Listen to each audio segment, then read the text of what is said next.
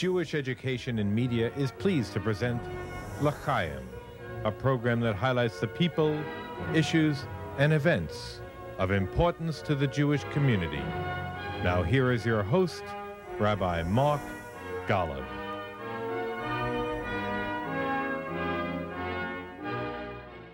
I'm Mark Golub, and as is true of every profession, there are some extraordinary figures who have a gift and a talent beyond the ordinary.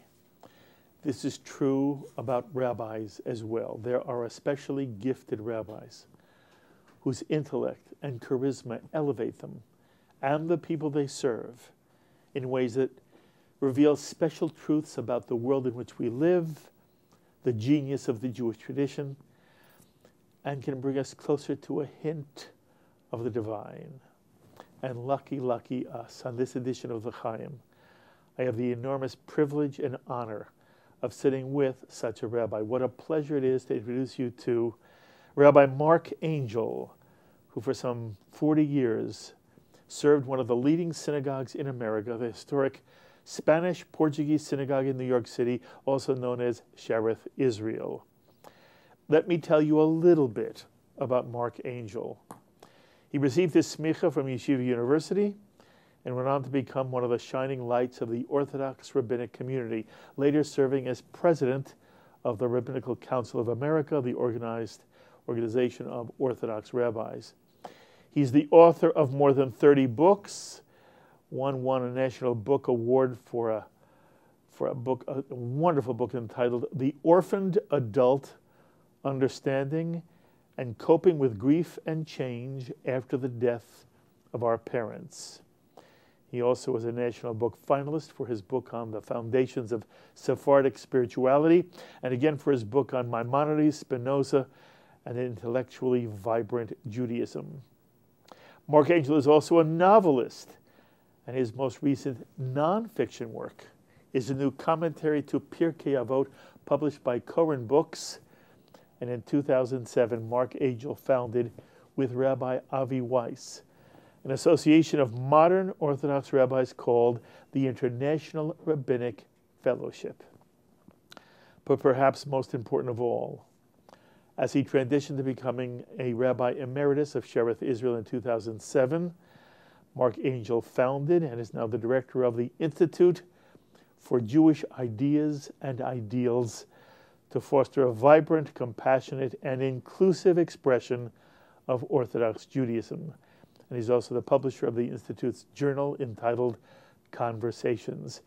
And Marc Angel, it is so wonderful to have you at this table. Thank you for joining us on L'Chayim. Thank you for that very gracious introduction. Probably more than I deserve, but thank you. You also wrote The Crown of Solomon in 2014. Yes. You know, it's supposed to be a novel. It's, it is autobiographical, is it not? This is really a book of short stories. I wouldn't say autobiographical, but every time an author writes, something of himself or herself gets mixed into the into the ingredients. Okay. You grow up in a Sephardic household. I did. What's the tenor of your Jewish home growing up? Oh, when I grew up, it was um, we lived in the, the, central district of Seattle in those days. Most of the Jews of the city lived there. And I knew it was a Jewish neighborhood because everyone spoke Spanish. Ladino, Judeo Spanish. At every block, there were two, three, four Sephardic families. We all lived within a mile, mile and a half radius. So my mother came from a family of seven children, my father from a family of eight children, and we all lived within the same neighborhood. And we were always in and out of each other's houses, into our grandparents, our uncles and aunties it was really like a, a great extended oh, family. Oh, wonderful. I, in fact, growing up uh, in those days, it, Judaism was so much fun and so exciting. I could never imagine why anyone would ever leave it. it just, how could you live without it? It was so good. I make a joke, but it's not quite a joke. That the first time I met a neurotic Jew was when I came to New York. Uh-huh. in Seattle, everyone was laid back, happy, easy, comfortable. It was a very happy life. Okay, but Marc, Judaism was fun for you. Fun is a correct way to say it, yes. Describe the fun. Where was the fun? Sephardic Jews like life. We don't, uh, when people make jokes about guilt and Jewish guilt, it didn't reply to, doesn't refer to Sephardim. Sephardim have a very positive attitude on life. They, we enjoyed singing, we enjoyed dancing, we enjoyed family gatherings, eating, colorful, uh, you know, colorful things. Uh, my grandmother used to um, burn orange peels on, the, on her stove. The house always smell you know, redolent with beautiful smells. It was just happy. We used to have parties for every occasion. In fact, uh, when our own kids were growing up, we used to go back to Seattle every summer as long as my parents were alive.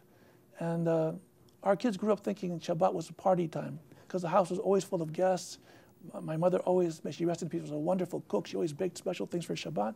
So the house was always full. It was Shabbat party time. That's lovely. Yeah. Shabbat was yes, not no. Shabbat was yes, 100%. A hundred percent. 100% yes. I mean, well, you always weren't supposed to do certain Yes, things, yes, yes. but it But wasn't the- noticeable. right, the But feeling overall was tenor yes. was the overall tenor was this is a really a happy way to live life. You know, there are many Jews who grow up thinking Shabbat's all about no. Correct. That's You- why I didn't really realize that till I came to New York. Mm-hmm. Um, I went to public school in Seattle for high school, and then came to yeshiva in New York in 1963. Okay, so what motivates you first to go to yeshiva and then to actually choose the profession of the rabbinate? And a number of my friends had come to yeshiva, and it, w- it was good. So I came to yeshiva, but my goal was to uh, study literature and to become a PhD in English literature. That was my real goal. And when I was a senior in uh, college, um, I got a fellowship to the University of Washington in literature. And I was also just engaged to my wife. We were going to get married that summer in 1967. My sister, my wife was a New Yorker, and she didn't want to leave her family. She didn't want to go all the way to Seattle to live. Um, at that time, also, my teacher was Chacham Solomon Gaon of blessed memory at Yeshiva. Chacham Gaon was head of the Sephardic program, and he had been a Sephardic chief rabbi in, in, uh, in England. And Chacham Gaon came to me one day and said, You need to go to be a rabbi. We need Sephardic rabbis. I said, I'm really interested in literature. He said, Well, you can do both things go to the rabbinical school and go to school in literature, and you'll see how life unfolds. So that's what I did. I enrolled in the rabbinic program, which made my wife very happy at yeshiva. And then I also enrolled in the master's program in English at City College, which I got a master's also in literature. And then at the end of the second year in rabbinical school, um, Shearith Israel needed a student rabbi. And we were very poor, and it was a job. So I said, okay, for one year, we'll try it. And that was the end of it. For one year, I'm, I'm still there. I'm a rabbi emeritus after 46 years or so. Marvelous. So yeah, so once I got into it, I, I uh, Yes, that's, you know, it occurs to me as I hear your story. Somebody says to you, we need a Sephardic rabbi. It wasn't that it emanated out of your soul, not at all. but at some point it became your soul. Once I started in the uh, rabbinate, I didn't realize how much I would like it, and uh, the people put up with me, and it gave me um, a framework where I could still write, and I could still do my research and reading. It, it was a wonderful framework, but it also gave me a chance to devote myself more to the Jewish people specifically and my community and the Sephardic world in general. In those days, and still to a certain extent in these days, the general Jewish population doesn't understand much about Sephardim. Uh, I wouldn't, I wouldn't say there was overt discrimination in my day, but there were a lot of unpleasant things said, uh, stereotypes. I would say I, I had a lot of unpleasant experiences in my day. And you would think by now, the, we would, next generation, two generations, that things would get better. And to a certain extent, they are, but to a certain extent, they still aren't. People don't understand. If you came from Turkey, if you come from the Muslim countries, you come from Morocco, uh, if you're not from those part of the world, you don't understand that culture, then people have uh, often very negative stereotypes. Yes. I want you to talk about that a little bit for me now. And, and it, it was one of the major themes that I really hoped you talked to the extent to which the Ashkenazic Jewish community really does not understand who the Sephardim are. Most of us don't understand even what the differences are in Sephardic ritual and Sephardic custom as opposed to Ashkenazic. Mm. That when one attends a Sephardic Seder, while there is an overall sense that you're at, at the same kind of event that you would be in an Ashkenazic home, there are significant differences between an Ashkenazic Seder and a Jewish Seder in terms of some of the symbolism. Also, the liturgy, which is very similar, also is different. How would you explain to the Ashkenazi community that has never been at Shearith Israel, has never attended a Sephardic Seder, what is Sephardic Judaism as opposed to, or in contrast to, Ashkenazic Judaism? I love your question because it opens up a whole, uh, whole new discussion. There's no such thing as the Sephardic world, just like there's no such thing as the Good for Ashkenazi you. world. Good for you. The, the Rebbe of Satmar is an Ashkenazic rabbi, and the Rabbi Temple Emanu-El is an Ashkenazic Jew. Yes. And there's Ashkenazim are not one thing; they're a lot of things. And the Same is true. Same is true of Sephardim. Means a, a Sephardic Jew from Ladino-speaking background in Turkey is very different from a Sephardic Jew from uh, Baghdad of an Iraqi-speaking background, or even different from a Jew from Morocco or, or Syria. Each group has its own history, traditions, culture. It's not one thing. Shearith Israel is a Western Sephardic tradition going back to Amsterdam. So most Sephardim are not from that tradition. I'm not, by birth. The Western Sephardic tradition would be parallel to, among the Ashkenazim, the German tradition. Very formal, Western music, a choir, elegance. So that's, that's very special and beautiful, and I served the congregation for many years with great honor and joy. But it's not the one that I grew up with. I- I grew up among Sephardim of Turkish background in Rhodes, which was basically Turkey in those days. And the music is different, the sound is different, the experience is different. And each group is different. Um, so, first of all, sometimes people say, oh, I know about Sephardim. I have a Yemenite son-in-law. Well, Yemenite's not even Sephardic. Yemenite's different. Uh, it's not, Sephardic really literally means uh, from Spain. Uh, we call it a pan-Sephardic world. Almost everybody from Muslim countries somehow, Jewish people from Muslim countries somehow fit into the overall Sephardic rubric. And what about Persian Jews? Persian Jews are, the- are Persians. They're Iranian Jews. They've been there much before uh, Sephardic Jews. There was such a thing as Sephardic Jews. And Babylonian Jews, for that But matter. they self-identify. They self-identify because that- that's the most convenient thing to identify. It's too hard to keep making so many divisions.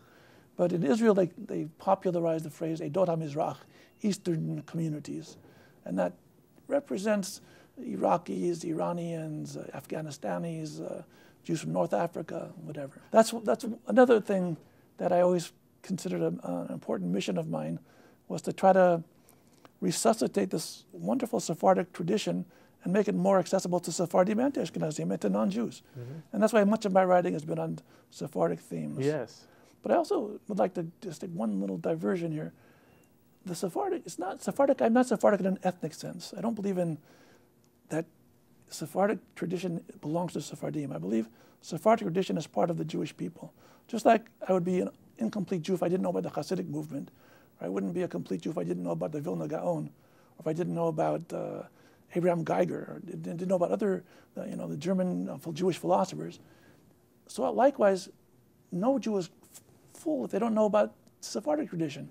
It's part of, we're one people, and we have different dimensions and different experiences as a people.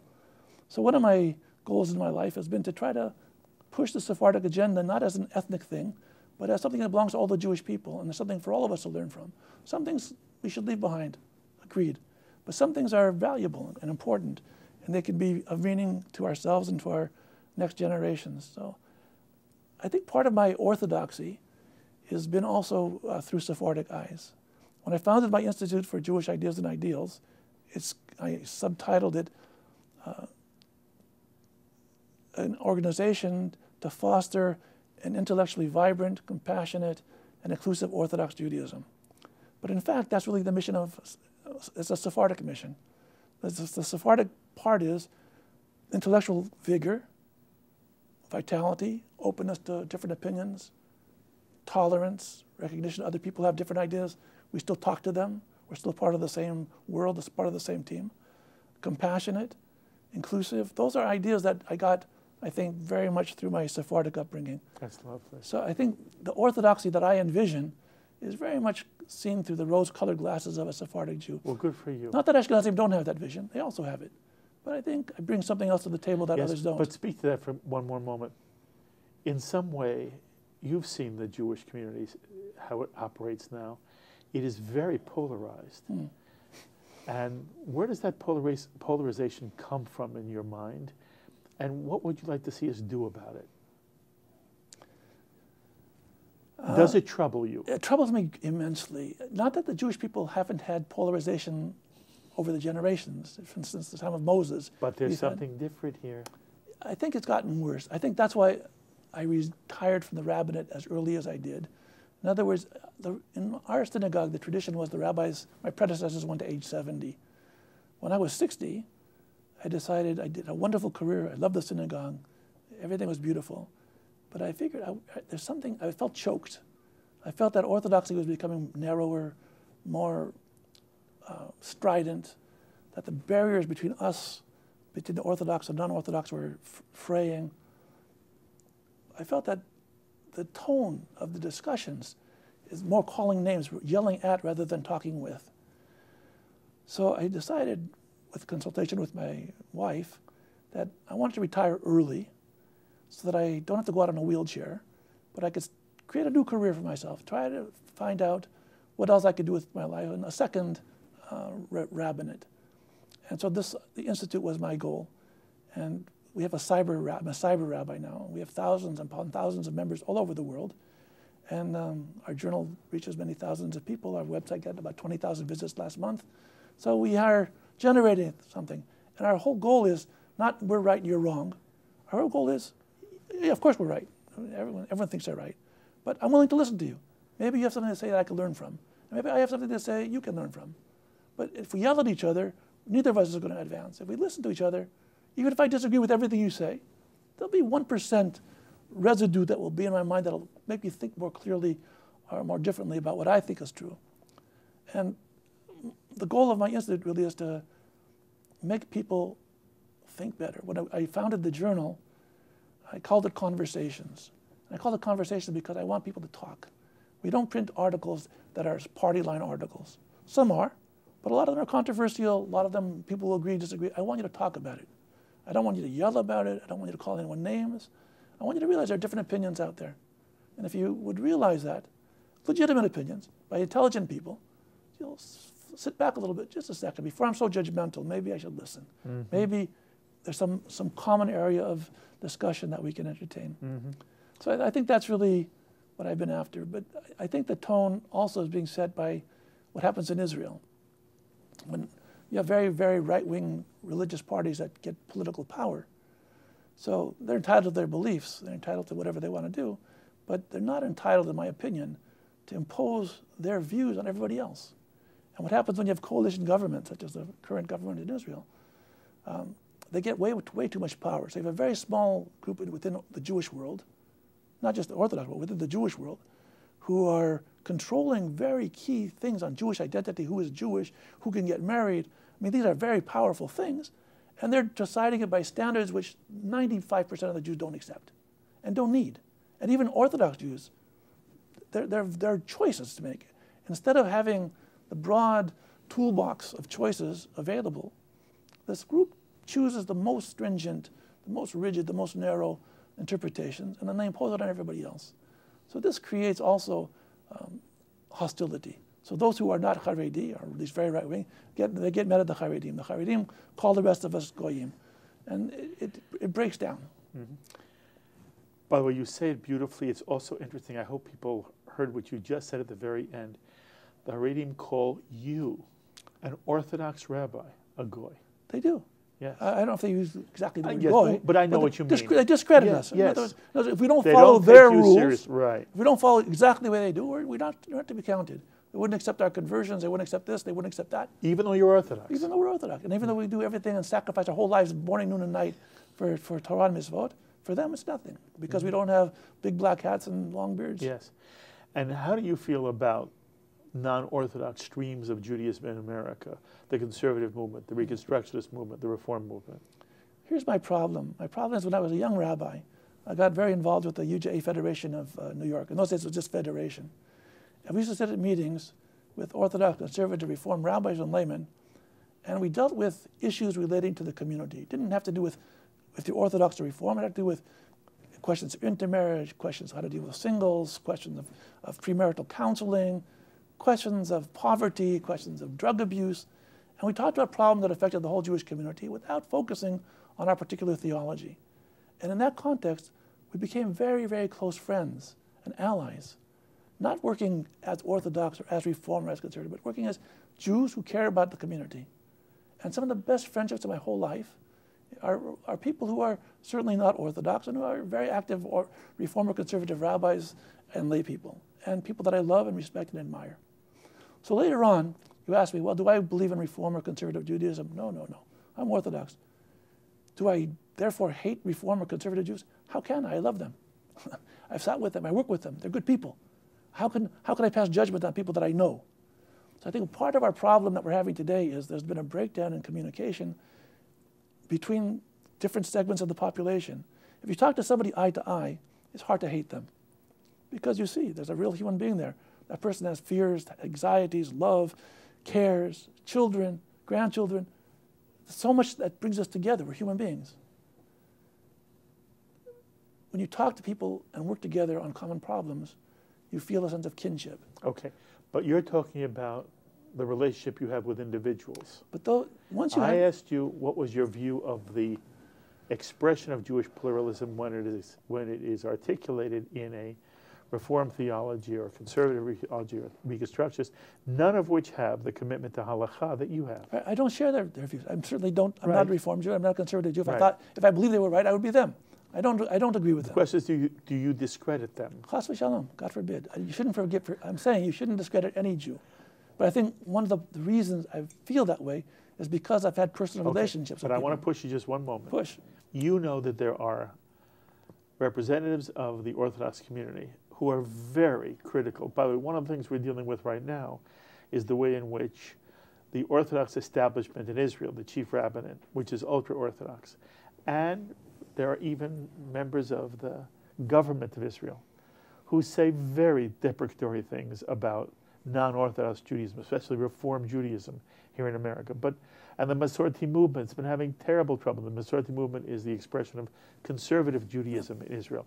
It too is having enormous problems institutionally with members of the Israeli government, the Israeli government on municipal level, with the president of Israel, Reuven Rivlin, Rivlin and the, so there are many Orthodox Jews who would say the problem with the non-Orthodox, the problem with the Reform Jew or the conservative Jew, they don't take halacha seriously. They don't take Torah mi Sinai, Torah from God, seriously. And if they're not taking that seriously, they may be lovely people, but I can't respect their expression of Judaism. That's what I'm asking you to speak to. One can respect every reform or conservative approach to Judaism that's sincere and heartfelt and thought through. I, I told you, literally, this sounds silly, but some of my best friends are Reform rabbis.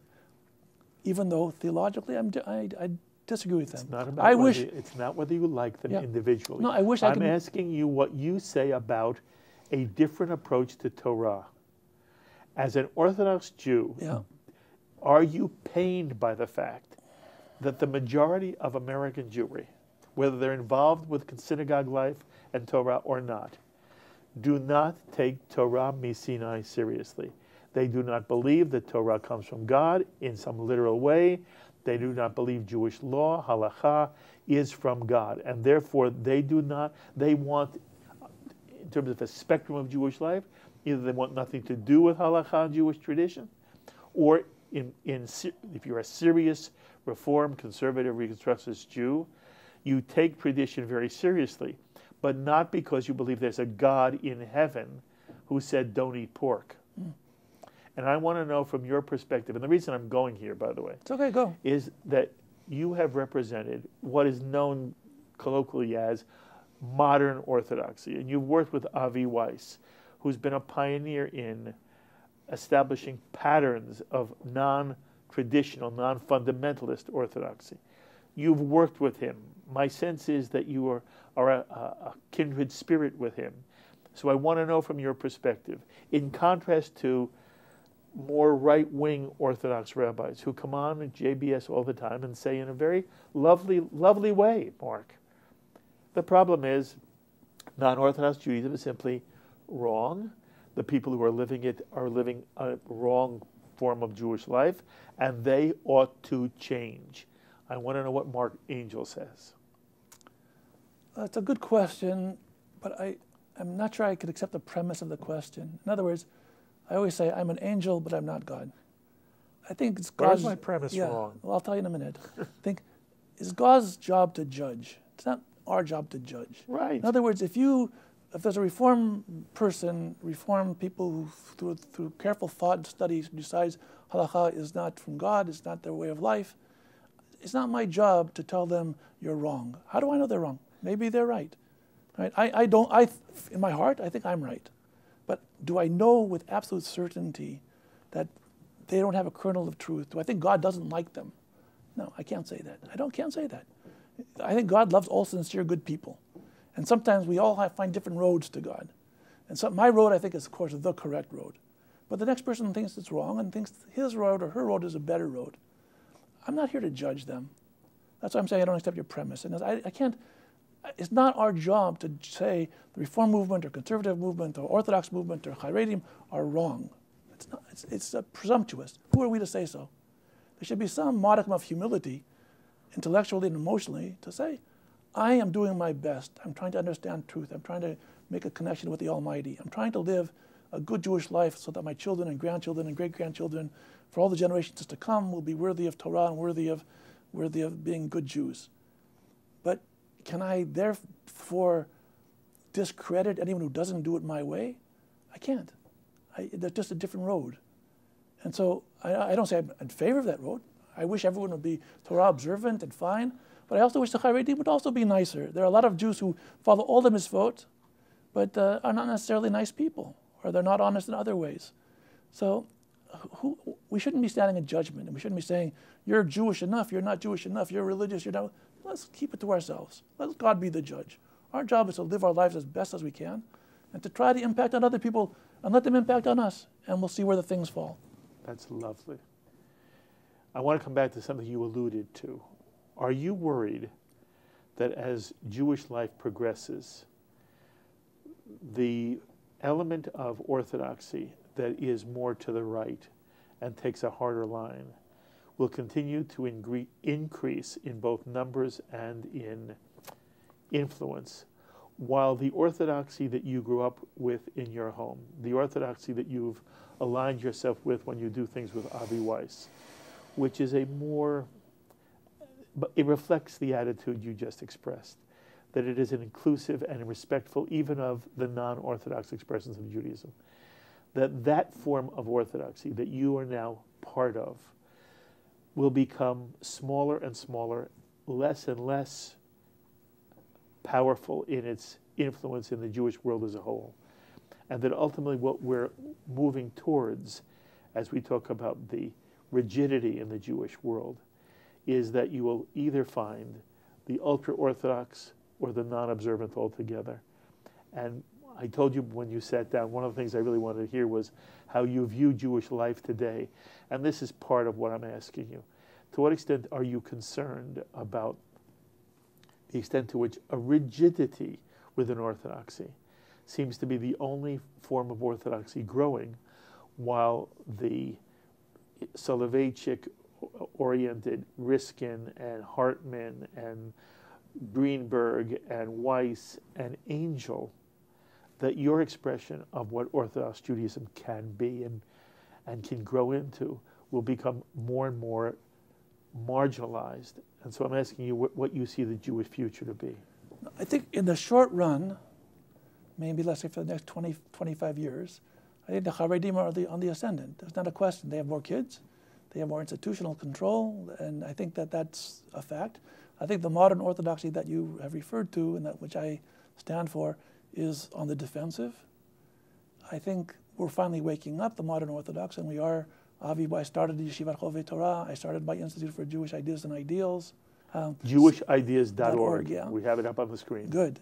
Um, so, and I think that you have uh, the Tzohar group in, in, Israel, and you have Bet Hillel in Israel. You have very intelligent people who are trying to create institutional resistance to the Haredim. Right now, we're getting clobbered. Agreed. The question isn't now. The question is 20, uh, 25 years from now. My basic faith is that Jews are very intelligent people, by and large. And there's no way that the Jewish people is going to live on the extreme indefinitely. For a while, okay, they'll be allow extremists to take uh, some control, but not in the long run. In the long run, we're way too smart to let that happen. And there's going to be a, a pullback. It's going to happen. It didn't happen in this government of Israel, but will happen in the next or the next, where they'll start taking money away from the Haredi institutions, where they'll say, the Haredi, you want money, go to work, get your kids educated properly, get jobs.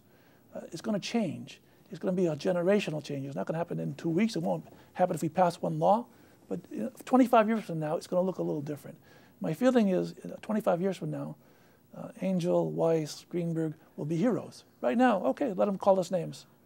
Uh, 25 years from now, 50 years from now, people are going to say, hey, there were people in those generation, that generation that actually were pioneers in a kind of orthodoxy that we can all live with. Yes. And I, so I, my faith isn't for right now. People say, why do you start this institute? We're fighting an uphill fight. You can't win. I said, I'm not writing for now. I'm writing for 25 years from now. I may not be here to see it, but it's going to happen. But people should know 25 years from now and 50 years from now that there were people who tried to resist this, this uh, onslaught of extremism, and ultimately we're going to certainly win. I can't imagine that the Jewish people will succumb to extremism indefinitely. It can't, it can't happen. Good for you, and I, you know, I applaud what you're doing. And as far as I'm concerned, you will, all you guys are heroes. you're heroes today. Um, I want to ask you about a couple of contemporary issues and see where you stand and how you deal with it both internally. What I mean by that is in your soul and how you deal with it institutionally. As we're taping this conversation, the Supreme Court has just ruled that gay marriage is now the law of the land and that a state may not discriminate against a couple, a gay couple that's been married anywhere in the United States. The Orthodox tradition has been clear. The Torah is clear. Homosexuality is a capital crime in the Torah. And I don't believe there are any Orthodox rabbis who are right now prepared to officiate at a gay wedding. But I'd love to know your sense in general about where you see the Jewish community in terms of this issue and where you'd like it to be. Well, I think the majority of the Jewish community is very liberal politically, and I think that many Jewish organizations were in favor of this uh, particular law. As an Orthodox rabbi, I would never perform a, a, a gay marriage. I don't think any Orthodox rabbis are not, certainly not that I know of, would do it. On the other side, they're still human beings. so there's always a question. You talk about egalitarianism. In other words, on one hand, we agree everyone has, has civil rights. On the other hand, we have laws, traditions, a lot of emotional baggage that comes in the way between what we think, what we feel, and, and, and practical things.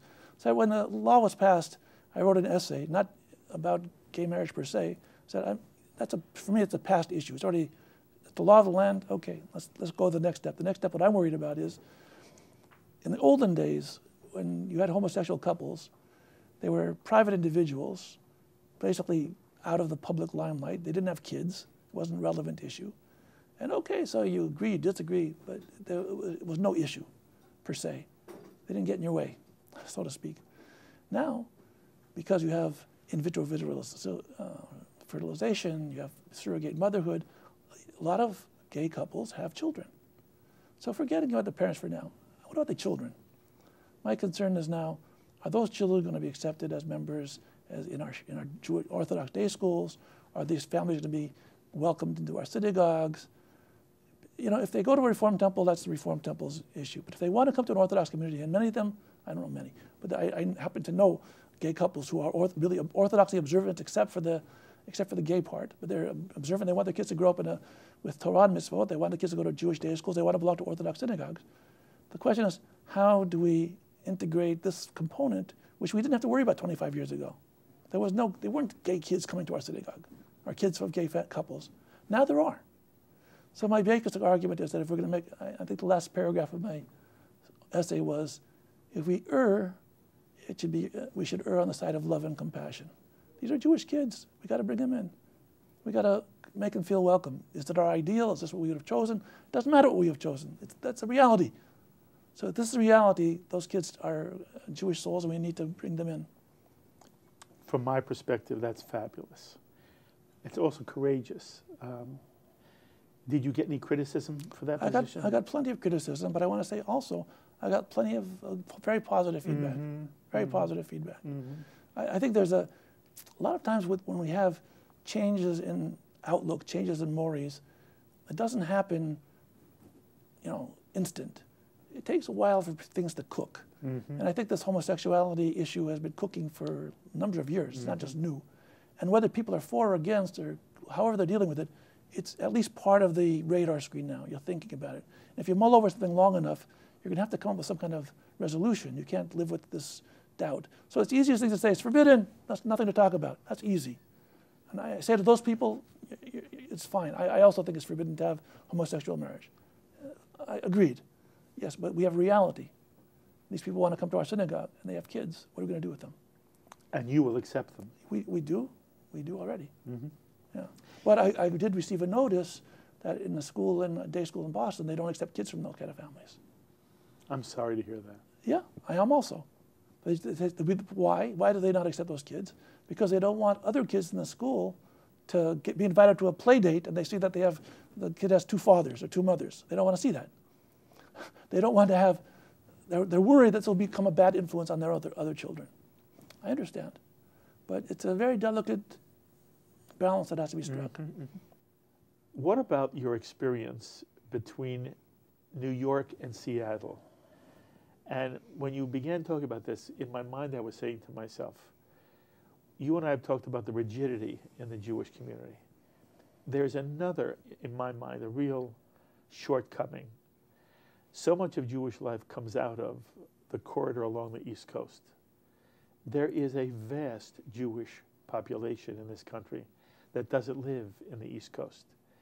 And that what Jews experience in the Midwest, on the West Coast, is so different in nature than what Jewish life is in New York.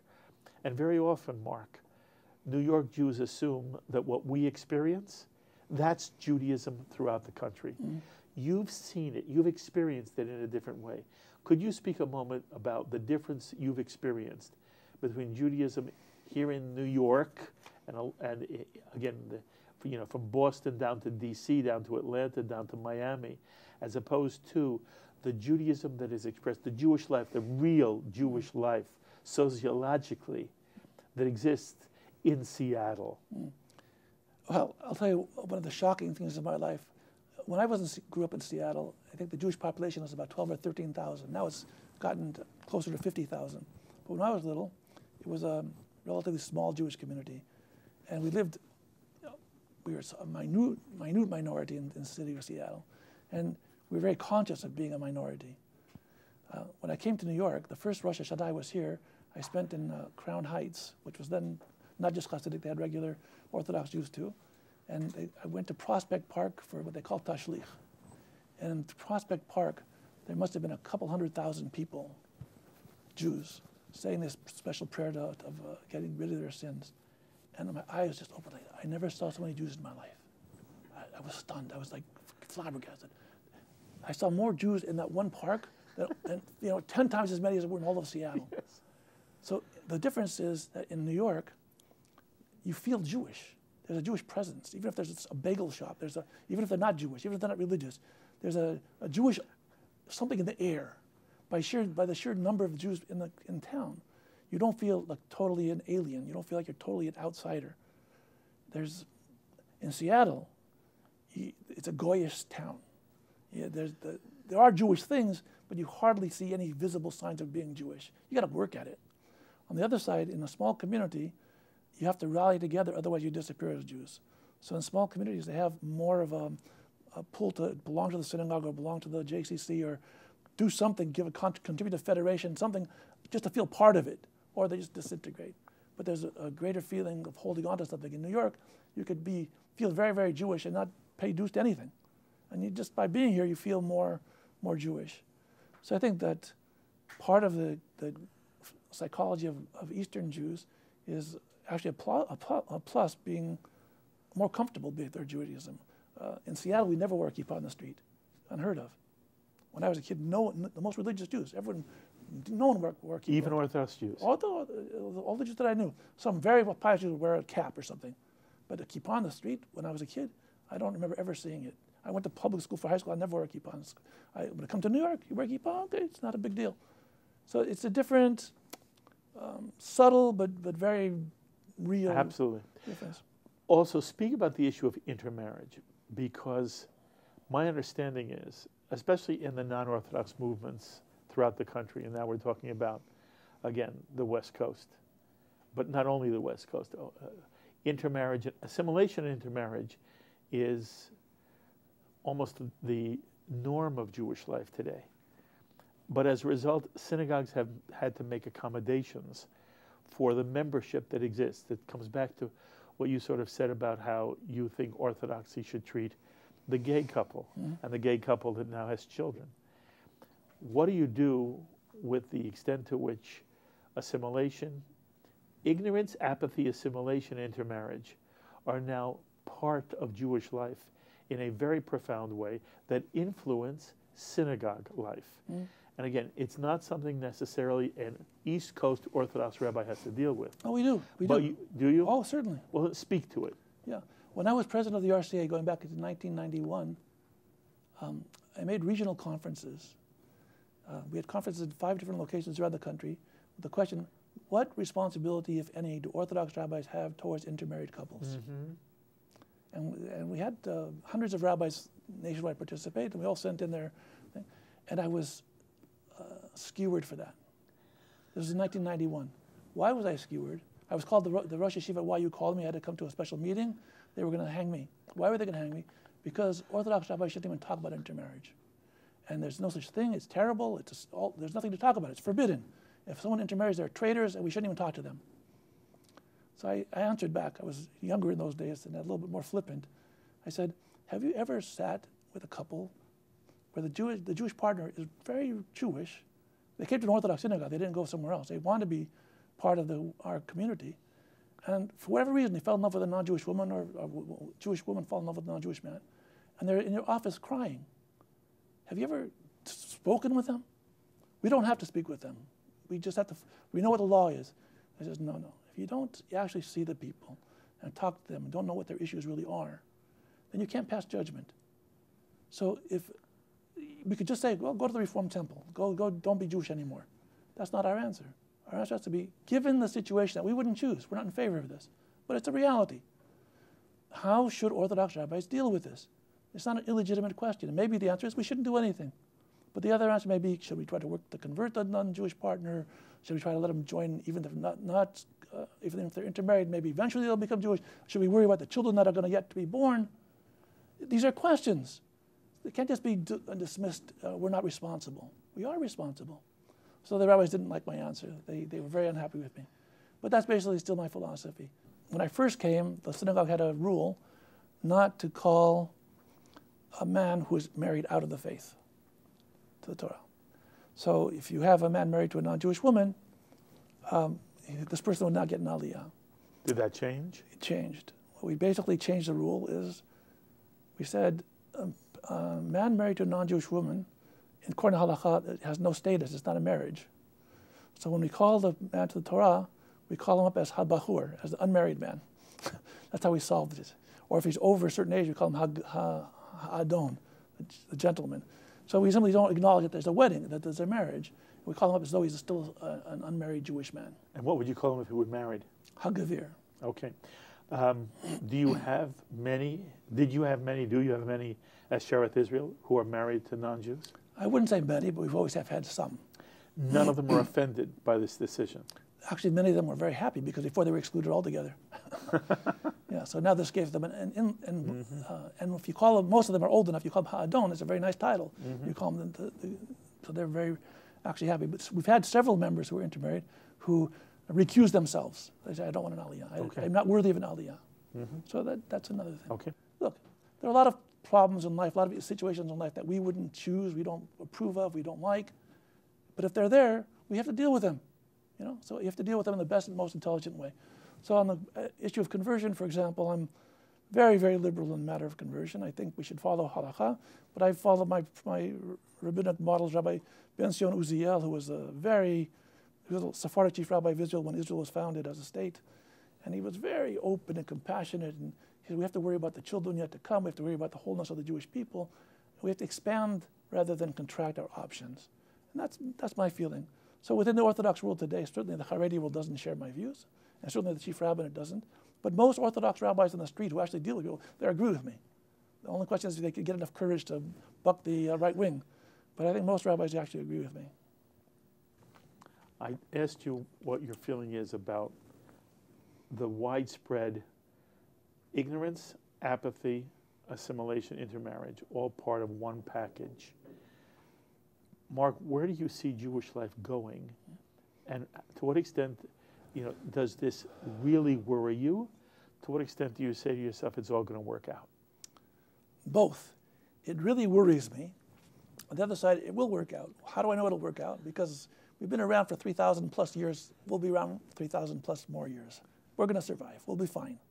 However, in the short run, a lot of cases, a lot of people are, are at stake. A lot of people will drop out and be lost. It's happened in every generation. It's going to happen more in the future generations. We're losing certain element of the Jewish people. I think that's happening. On the other side, sometimes people say, well, they intermarried, that they're, they're no, longer interested in Judaism, they're assimilated. That's not true either. There are plenty of people who have intermarried who are fiercely Jewish, strongly Jewish, and it, it's an insult to just write them off and say that their Jewishness doesn't count to them. They fell in love with somebody. You know, it's, uh, we live in a world where Jews are 2% of the Americans, and 98, they have a much greater chance of meeting a non-Jewish person than a Jewish person. And it happens. And it happens not just to Jews and, uh, and non-Jews. It happens in all religions and all races. In America, people marry out. That's, I think, the norm for all Americans, not just for Jews.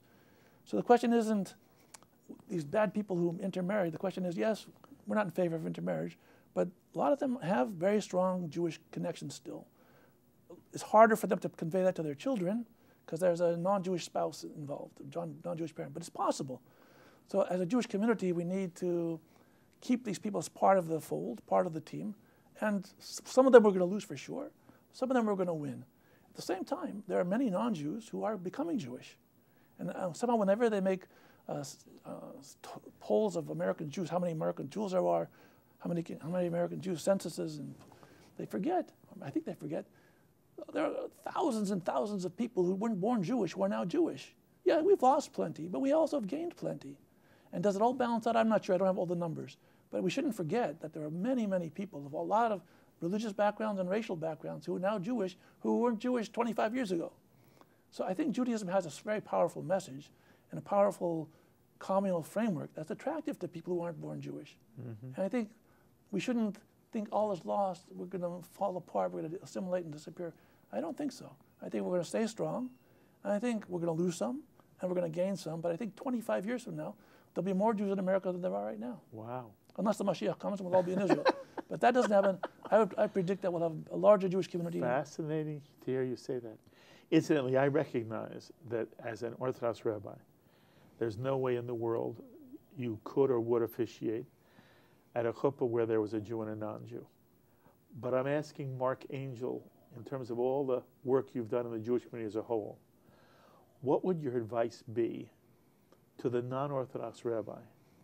Should non-Orthodox rabbis now in some way be a Mesader Kiddushin, be the officiant at a wedding of a Jew to a non Jew, if the Jew and the non Jew are saying to the rabbi, our intention is to create a Jewish home, what is your advice to your colleagues in the non Orthodox movements about yes or no when it comes to performing or be an officiant at a intermarriage?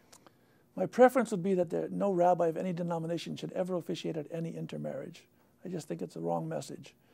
Having said that, um, one, one could, should speak to the non Jewish partner to see if he or she is willing to convert to Judaism on whatever basis, even the simple basis. Um, then that's a, that's a different story. Or if they aren't willing to convert, say, look, I, we can't do the wedding. We have to respect our, our, our feeling on the subject. But it doesn't mean we don't love you. It doesn't mean you can't come to our, our temple or our synagogue. And, and uh, in the course of time, things will change, and, and your kids will be part of our community. There's, there's a way of expressing love and compassion without necessarily violating a basic principle. I think when rabbis participate in uh, or officiate at, at intermarriages, it kind of gives a green light, says this is kosher, this is okay. And I think it's a wrong signal. It's not likely any longer to be determinative. What I mean by that is whether a rabbi does or does not participate, there's going to be intermarriage. Correct. And I know of no couple who won't marry because a rabbi says no. But they will know that the, there or no rabbi would sanctioned it. That's all. But the rabbi does then sanction their participating in synagogue life. Correct. But they always have in the back of their mind that their marriage itself wasn't um, sanctioned. And that's what you want them to have in the back of their mind. I do. I think they should know. There's a, there's a price to pay. You make the judgment. I understand. Love is stronger than your faith and whatever traditional background you have. I understand. Okay.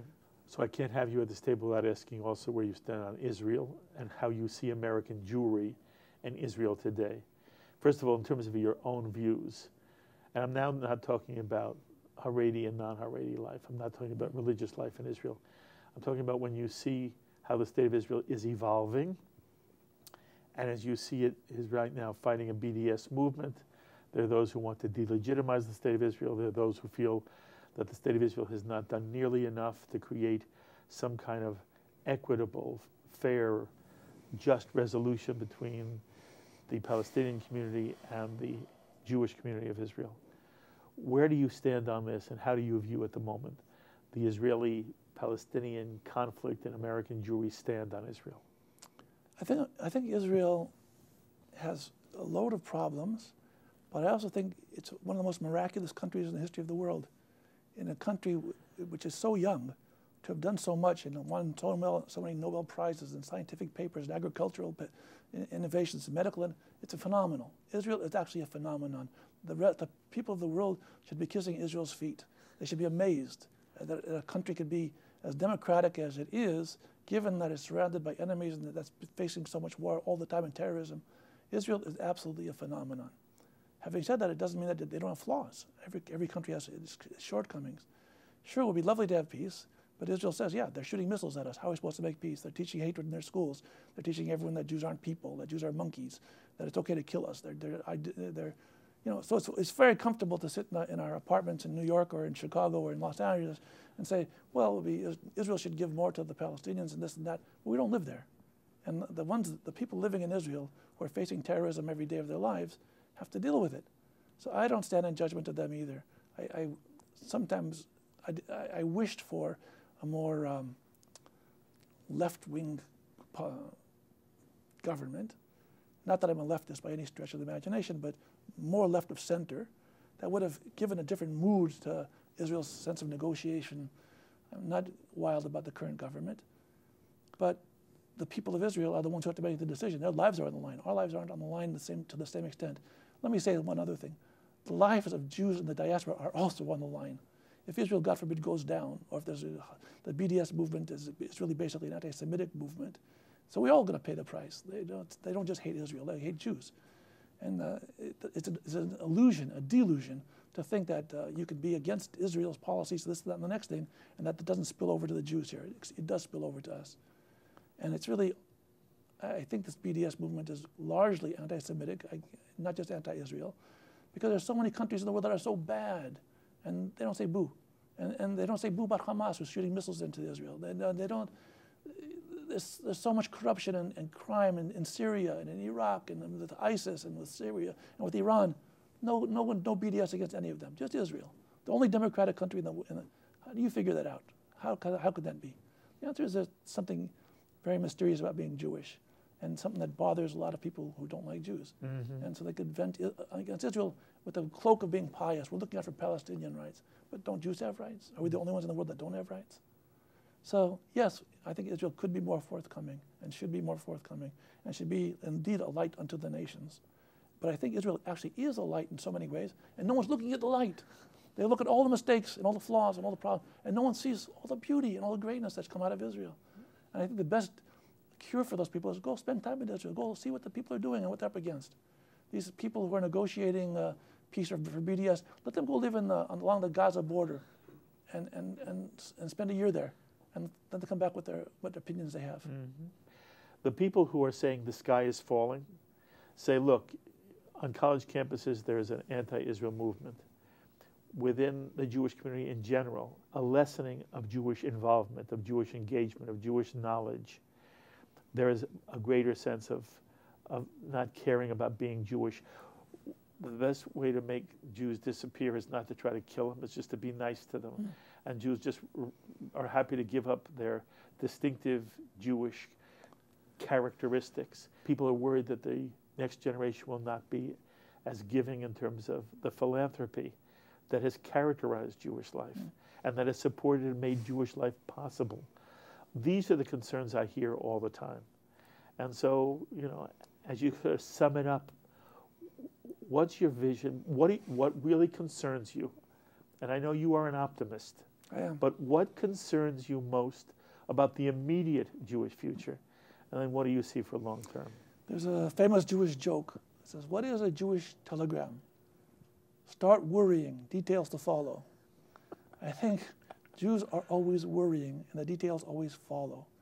Yes, we have to worry about anti-Semitism, anti-Israelism, anti-assimilation. We have, all these things are entirely true problems that have to be faced. But I would rather be alive now than in Germany in 1938. I thought it would be li- alive now than in Poland in 1940, 41. We forget how much anti-Semitism was. We have people in our congregation, older than I even, who uh, remember they couldn't get accepted to colleges because they were Jews. There were quotas. Now, okay, there was anti-Semitism on campus, but they're also Jews. Uh, in the old days, could you imagine Princeton having a kosher kitchen, or Harvard, or all these schools? They'll, yes, we have problems, but we'll look at what we also have. And also, you have uh, are some Jews disaffected? Yes, but you also have the uh, birthright that brings so many hundreds, thousands of Jews to Israel, young Jews to Israel, who get turned on to Israel. Yeah, so they're negative forces. I understand that. But they're also positive forces. Who's going to prevail in the long run? I'm always on the side of the positive. I always think that in the long run, the Jews are, are too smart to let themselves be defeated by their own mistakes. So I, I, in the long run, I think we're going to be fine. Um, there's a famous statement by Benjamin Disraeli. The, he says, in the battle between whether human beings are monkeys or angels, I come down on the side of angels. And I always come down on the side of angels. You're fabulous. No, you are too. No, you you. are fabulous. Thank you. Uh, by the way, uh, your most recent book is the this wonderful new edition of Pirkei Avot, Ethics of the Fathers. Uh, it is uh, statements by the great Rabbanim that are in the Talmud, and um, Marc is part of a new commentary, the Koren Pirkei Avot. So, you know, we haven't talked rabbinics at all. The next time you ha- we'll just sit talk rabbinics. But is there a favorite verse you have from Pirkei Avot? I love all of them. Yeah, but give me one. Give me one. And it may not. Be, your, it's wrong to say your favorite. The first one that comes to your mind is Hafoch bo v'hafoch bo. Search into the Torah. Search in the Torah, you'll find truth in it. So I think if we search and we think and we look for truth, we'll find truth. you've been bringing us truth for an entire career. Thank you. Mazal tov, you kol tuva hatzlacha. Just promise me you'll sit here again. One I day, love God willing. I love having God you. willing. Thank you. Thank you so much. Okay.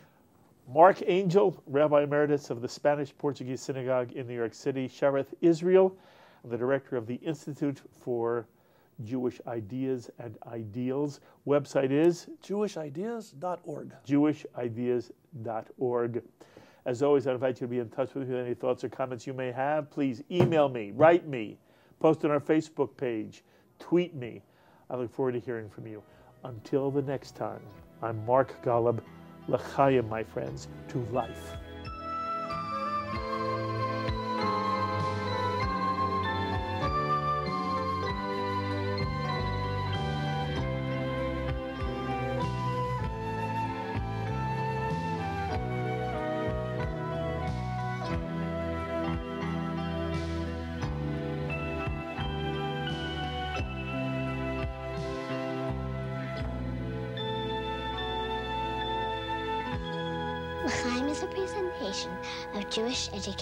In media.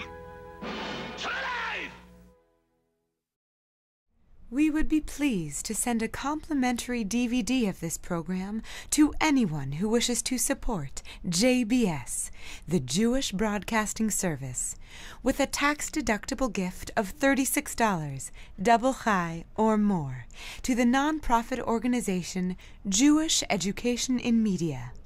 Simply visit the JBS homepage and click on the donate button to make a donation by PayPal or your credit card. And please indicate the program for which you would like a DVD.